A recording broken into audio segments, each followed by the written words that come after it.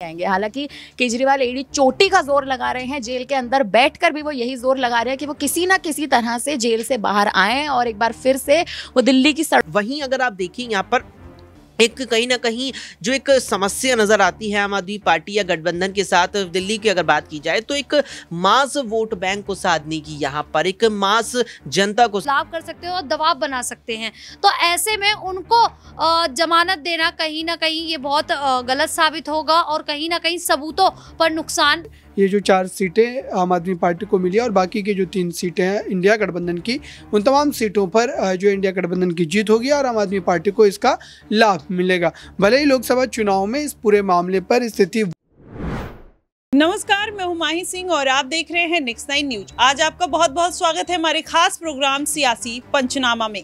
आज बात करने वाले हैं दिल्ली की उस सात लोकसभा सीटों को लेकर, जिसको लेकर घमासान मचा हुआ है। आपको बता दें, दिल्ली की वो सात लोकसभा सीटें, जो अभी के लिए कहीं ना कहीं बीजेपी के लिए भी उतनी महत्वपूर्ण है, जितनी आम आदमी पार्टी के लिए। लेकिन केजरीवाल ने, जब से वो जेल में गए हैं, वहाँ पर कहीं ना कहीं आम आदमी पार्टी की मुश्किलें अब बढ़ते हुए नज़र आ रही है। क्या भाजपा उस पर अपनी पकड़ बना पाएगी? और मायावती भी अब इस रण में कूदती हुई दिखाई दे रही हैं। अब ऐसे में जो तमाम सियासी समीकरण बनते हुए दिखाई दे रहे हैं, इसमें किसकी जीत होगी, किसकी हार होगी? इन सभी सवालों के लिए हम अपने न्यूज़ रूम में मौजूद हैं और आज अपने सभी सहयोगियों से इस पर चर्चा करेंगे कि अरविंद केजरीवाल क्या जेल से छूटेंगे या फिर इस बार उनकी आम आदमी की जो पार्टी है, उनकी सरकार दिल्ली में बनेगी या नहीं? इन सभी सवालों के लिए हमारे साथ अक्षय मौजूद हैं। इनसे जानते हैं कि जिस तरीके से सात लोकसभा सीटों को लेकर अब कहीं ना कहीं सियासी घमासान मस्ता हुआ दिखाई दे रहा है। मायावती भी इस रण में कूद पड़ी हैं।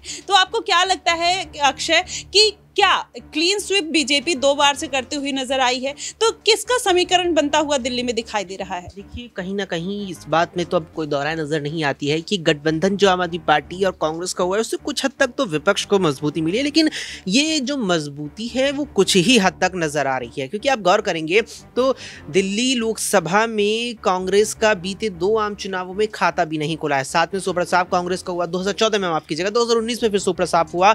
आम आदमी पार्टी टक्कर देती, दिख रही थी, लेकिन 19 में भी वो पूरी तरीके से विफल रही।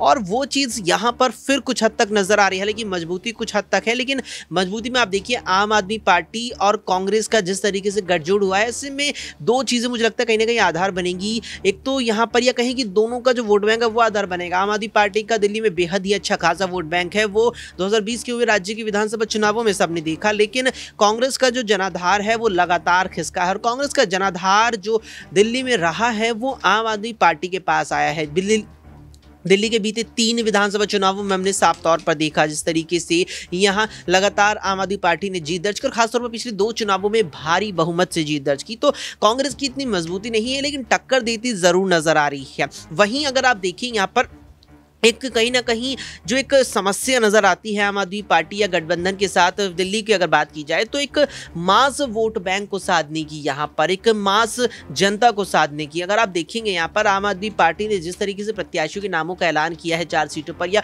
कांग्रेस में जो तीन प्रत्याशी हैं, उनमें से अगर उत्तर पूर्वी दिल्ली से कन्हैया कुमार की बात करें तो सोशल मीडिया के चलते केवल वो मात्र चर्चित नाम है। उसके अलावा जो अन्य छः सीटों पर गठबंधन के प्रत्याशी हैं, उनकी जो यहाँ पर जान पहचान है, वो मुझे लगता है कि उनके अपने क्षेत्र, उनके अपनी विधानसभा क्षेत्रों तक ही बहुत हद तक नज़र आती है। जबकि आप संसदीय क्षेत्र की बात करेंगे तो दायरा बहुत ज़्यादा बढ़ जाता है। आमतौर पर दिल्ली का अगर आप यहाँ पर देखेंगे समीकरण तो एक लोकसभा के अंदर औसतन दस विधानसभाएँ दिल्ली के अंदर आती हैं, और जब एक विधायक लोकसभा लड़ता है तो उसे साथ में अन्य नौ और विधानसभाओं को यहाँ पर कवर करके चलना है, जो कहीं ना कहीं एक मुश्किल परिस्थिति नज़र आती है। क्योंकि आप देखेंगे, आम चुनावों में बीते दो आम चुनावों में खासतौर पर 2019 के लोकसभा चुनाव में ये बहुत हद तक देखने को मिला था। उत्तर भारत के कई राज्यों में इसमें बिहार भी था, उत्तर प्रदेश भी, दिल्ली भी था, उस श्रेणी में राजस्थान भी, मध्य प्रदेश भी था कि जब आम चुनाव होते हैं तो मतदाता बड़ी संख्या में प्रधानमंत्री नरेंद्र मोदी का चेहरा देखकर वोट करते हैं, जो बीजेपी के पास सबसे बड़ा प्लस पॉइंट है और ये चीज़ दिल्ली में भी देखने को मिली थी।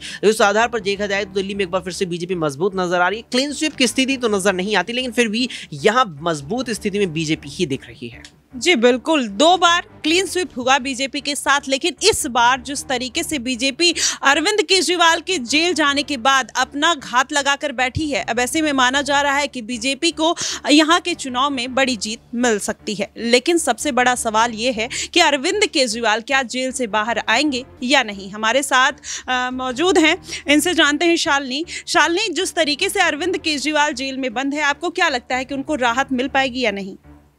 देखिए मैम जिस प्रकार से अभी तक लगातार केजरीवाल सीएम केजरीवाल को लेकर लगातार सुनवाइयाँ हो रही हैं कोर्ट में सुनवाई हो रही है लेकिन कहीं ना कहीं केजरीवाल को घूम फिर कर फटकार ही लग रही है उन्हें राहत मिलती नज़र नहीं आ रही है। लेकिन अगर बात करें मनीष सिसोदिया को लेकर तो आज अ, कोर्ट में सुनवाई है उनकी और कोर्ट आज उनका फैसला सुनाने वाली है कि क्या आखिरकार मनीष सिसोदिया को जमानत मिल पाएगी या नहीं मिल पाएगी? क्योंकि जिस प्रकार से मनीष सिसोदिया लगातार अपनी याचिकाएँ दायर करते रहे हैं जमानत को लेकर तो पहले उन्होंने पहले एक याचिका दायर की उसको खारिज कर दिया गया उसके बाद दोबारा से याचिका दायर की गई वो भी खारिज हो गई। लगातार उनकी दो याचिका जो हैं वो खा, खारिज हो चुकी हैं। निचली अदालत से जब उनकी ये जमानत याचिका खारिज हुई है तो उन्होंने हाई कोर्ट में इसकी अपील की है और वहाँ पर उनको चुनौती दी है अपनी जमानत याचिका को लेकर। जी।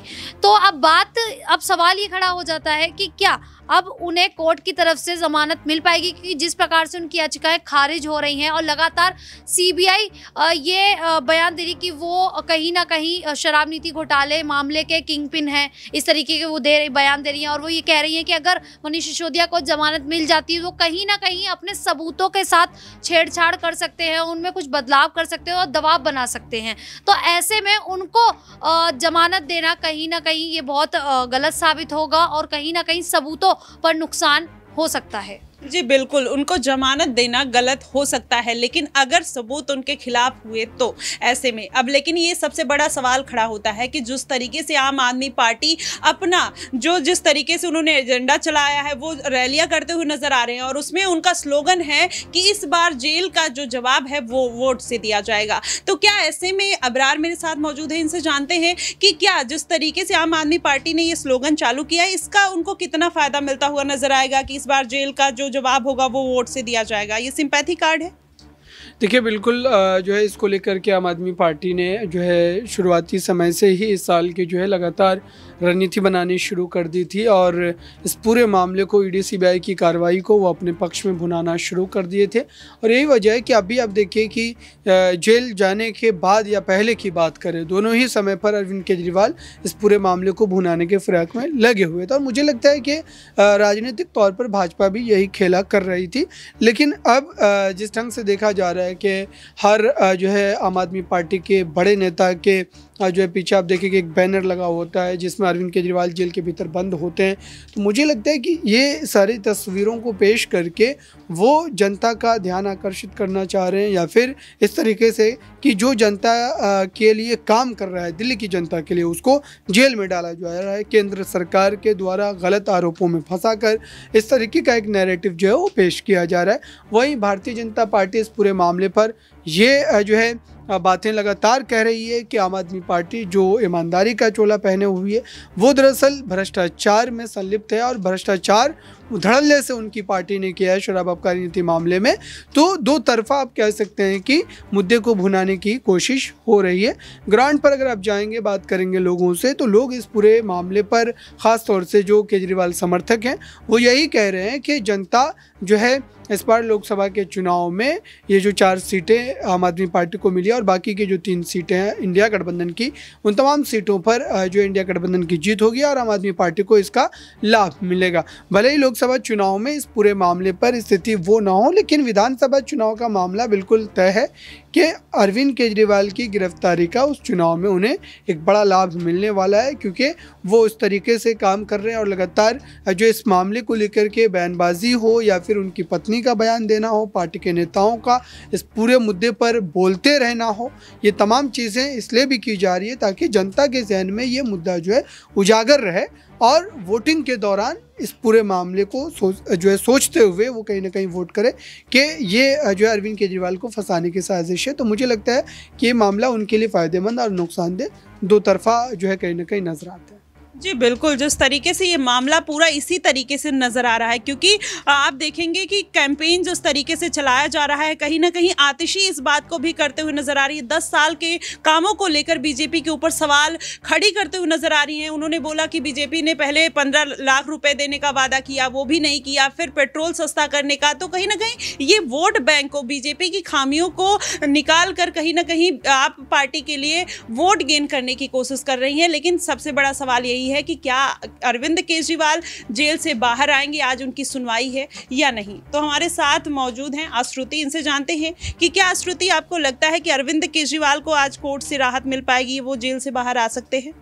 देखिए, ये कोई पहली बार तो नहीं है कि अरविंद केजरीवाल की आज सुनवाई होने जा रही है। इससे पहले भी वो कई बार अपनी ज़मानत याचिकाओं को चुनौतियाँ दे चुके हैं, लेकिन हर बार उनको एक तरह से कहें तो सेटबैक ही मिला है, नकारा ही गया है। अगर वो बाहर आते हैं तो आप पार्टी के लिए ये एक पॉजिटिव साइन होगा कि आने वाला जो प्रचार है, उसमें जो इनका मुख्य चेहरा है, आप आप पार्टी का अरविंद केजरीवाल वही जेल में बैठे हैं और अगर वो ही जेल में है तो आखिर प्रचार करेगा कौन? हालाँकि प्रचार की कमान फिर भी उनकी पत्नी सुनीता केजरीवाल ने संभाल ली कि दिल्ली की सड़कों पर उतरकर वो इस बात का आश्वासन जनता को दिला रही हैं कि आप पार्टी एक बार फिर से दिल्ली में आएगी, दिल्ली में वर्चस्व उनका बना रहेगा। लेकिन सवाल जो है, वो अभी भी यही है कि क्या केजरीवाल बाहर आएँगे या नहीं? आएँगे। हालाँकि केजरीवाल एडी चोटी का ज़ोर लगा रहे हैं, जेल के अंदर बैठकर भी वो यही ज़ोर लगा रहे हैं कि वो किसी ना किसी तरह से जेल से बाहर आए और एक बार फिर से वो दिल्ली की सड़कों पर उतरे, चुनाव प्रचार करें और आने वाले लोकसभा में एक दावा ठोके कि अभी भी आप पार्टी ज़िंदा है। लेकिन एक सवालों की कड़ी जो है वो अभी भी इसी बात पे बुन रखी है। हालाँकि अब सुनवाई होगी तो सुनवाई के बाद इस बात का निर्णय निकलेगा। लेकिन अगर वो बाहर आते हैं तो ये बीजेपी के लिए एक बड़ी चुनौती के रूप में सामने आएगा कि बीजेपी ने जिस जिस तरह से बीजेपी इतना ज़ोर, जोरदार कोशिशें कर रही है कि आप पार्टी का एक, वो जो एक, उनका जो एक स्टैंड है वो ख़त्म कर दे। लेकिन अगर केजरीवाल आएँगे तो भारतीय जनता पार्टी के लिए चुनौती के रूप में कैसे सामने आएगा, ये एक बहुत देखने वाली बात होगी। जी, बिल्कुल, जिस तरीके से अब अरविंद केजरीवाल अगर बाहर आते हैं तो भारतीय जनता पार्टी के लिए मुसीबत खड़ी हो सकती है। जिस तरीके से सुनीता केजरीवाल ने पूरी कमान संभाल ली है, ऐसे में माना जा रहा है कि आम आदमी पार्टी इस बार के चुनाव में भी अपना परचम लहरा सकती है। आपको इस पर क्या लगता है कि आम आदमी पार्टी इस बार दिल्ली में फिर से सरकार बनाएगी या नहीं? आप हमें कमेंट बॉक्स में ज़रूर बताएगा फ़िलहाल के लिए बस इतना ही। देश और दुनिया की तमाम खबरों के लिए हमारे साथ बने रहिए नेक्स्ट नाइन न्यूज़ पर।